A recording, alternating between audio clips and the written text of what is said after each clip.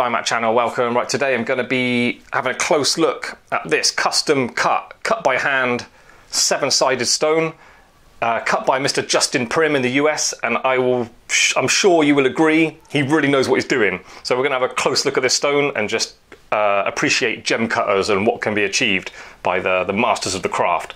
It's amazing, unusual cut stone, it's just done perfectly, it's faultless. Really impressed by it. So anyway, I've got a have a close look at that stone and figure out how to make something with it. Not going to be easy, not straightforward at all. Anyway, I'll get into it after I said thank you to these new patrons. We've got Konstantin Dzriv and Kevin McAllister. Thank you very much, guys. And uh, Konstantin was clever because he paid for a year in one go and saved 10% off the yearly subscription.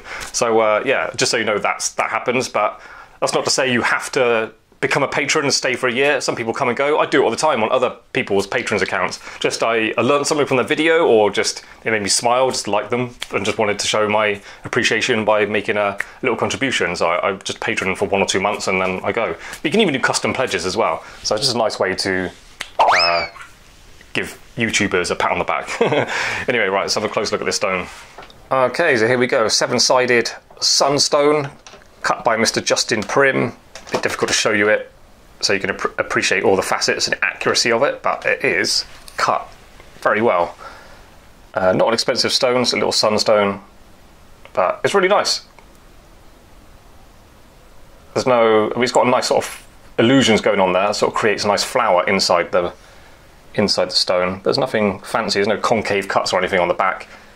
Looking at the belly of the stone, very deep as well. So uh, when you're working with like custom cut stones, trying to figure out what to make, the actual dimensions of the stone will give you a few clues as to what might be best to do with it. Uh, this is really deep, so in a ring, it's going to stand up really high off the finger, uh, which means it's not the end of the world. Some people really like that, but that means your shoulders have to go up quite high as well. Just the whole thing gets, gets a bit cartoony when stones that are quite big uh, are quite high as well, got quite deep bellies on them. Um, being seven sided is also a bit of a challenge to know what to do with it because you can't go straight across like a ring shank uh, because it goes there just off the points and sort of a weird point of the of the flat, a weird angle, or you can go.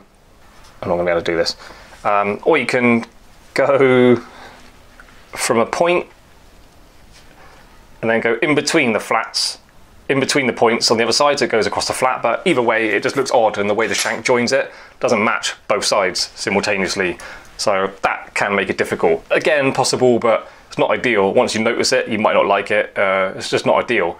So I'm kind of kind of stuck having to do a pendant with this. But the depth of it means it could be prone to rocking left and right. So I need to think of that as well. So don't go too narrow at the back. You don't want a kind of weird cone shape pendant that's just going to rock left or right and then being depth deep as well, you have to be a bit careful about where you position the hanging loop from because it could be prone to tilting forward or tilting back. Uh, anyway, just things to keep in mind when you're making pendants. Uh, but it's a nice stone, I really like it. And then, I don't know if you're picking up the quality of the craftsmanship of actually how it was cut. It's really, really quite well done. I was thinking about the stone yesterday and the way I remembered it, there was a bit more of a point on them, and I was thinking to do a V claw, but looking at it today, there's such a sort of shallow angle. Angle that's not really worth making a V claw for them. But I was thinking I could do a quite chunky round claw, enough with enough meat on it to actually file sort of facets on the claw, so it matches the outside of the stone. Uh, a sort of faking a V claw, basically, um, because the angle looking at it from the side is quite steep as well. I'm thinking going like cone shapes. I cone off these claws uh, to sort of match the design flow again of the stone. It's going to help. Uh, just got to make it meaty enough to at least at the top half put a flat on there, so match the outside of the stone, looking down on it, uh, and then being a, a, one-off sort of custom cut stone as well. Going to do something bit special with it, so I'm thinking sort of maybe pave set in between those claws, two or three pave set diamonds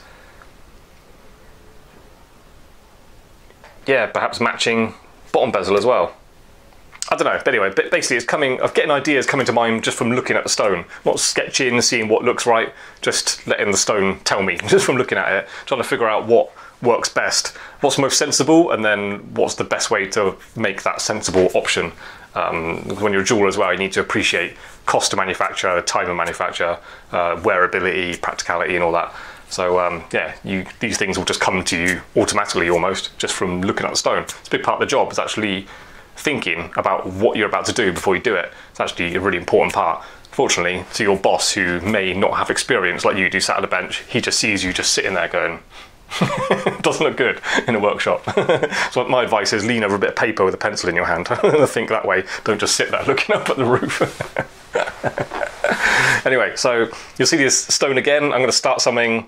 Uh, it's a bit late today. I'll get the metal ready and start it tomorrow morning, and then we'll get a video going of actually creating something for this stone.